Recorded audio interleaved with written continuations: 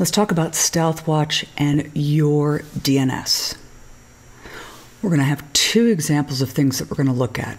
First and foremost, we're going to look at rogue DNS. Devices in your network acting as DNS servers that devices in your network are actually going to that are not on your approved DNS host group list. Let's go to StealthWatch and see this. So, we're going to go look at host group management and look at the host group that is on the approved DNS servers list. I have two subnets in the approved corporate DNS servers 10.1.103.0 and 10.2.203.0. Now, what I have done is I've actually created a saved search that does just that, just just this for a 24-hour period. I call it DNS 24 hours and not DNS server host group. So let's go ahead and look at this. As you can see, what I have is, is that it can be any um, host, subject host, and as long as it is going to a peer with UDP 53 and that peer is not in our DNS host group. Translation, it is something that we should not be having DNS going to in our network. So we're going to go ahead and click search on this.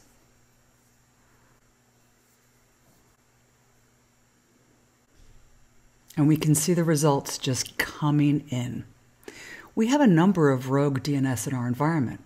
In fact, now that we are, well, let's see, almost, yep, they're 100% complete. I'm going to spin us down all the way to the bottom and see that we actually have 417 items in this list, nine pages. So the question becomes how many rogue DNS servers do we have in our network? Well, we see 8.8.8.8, which is Google, and we see 198.18.133.1. Are there any other? Let's actually do this. Let's say, okay, we mark down Google. So we're going to do not 8.8.8.8. And we should get everything that is a rogue DNS device, but it's not Google's 8.8.8.8. What we're going to do is we're going to see um, whether or not if we toggle this, we should actually get this as 37.21 and that will actually change. So now we see that it's still 198.18.133, but we did toggle. So now we're going to toggle it again so it looks like we have 198.18.133.1 and 8.8.8.8. Let's go ahead and edit the search.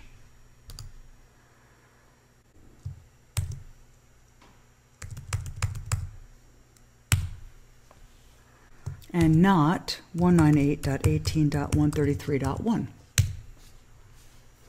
And now let's go ahead and do the search again.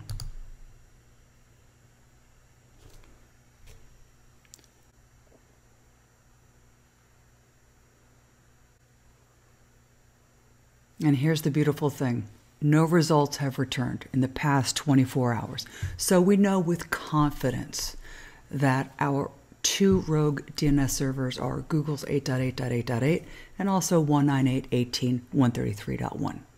These are just some of the ways that you can also do some dynamic discovery and hunting in your network. Now, let's go to the next one. You can also use StealthWatch prior to attempting to decommission DNS devices in your network that you think is no longer being used. So let's go look at that.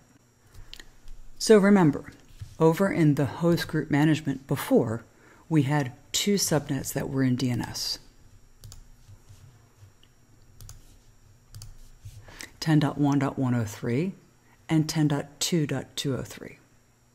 Now, what we'd like to do is we'd actually like to go ahead and decommission the servers 10.2.203 because we don't think we're using them anymore.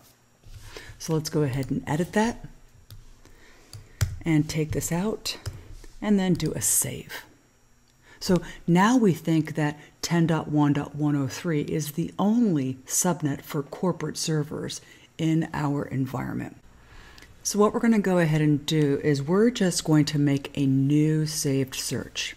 So let's go ahead and actually just make a flow so we can kind of sort of keep on going back to this and find out whether or not anyone's trying to get to 10.2.203, the devices that we're planning on trying to decommission. So let's come here and let's actually do it for like the past, I don't know, how about eight hours? And we're going to do 10.2.203.0 slash 24 and advanced peer options are going to be 53 slash UDP. And then I'm going to go ahead and I'm going to save this and we're going to call it uh, DNS old servers.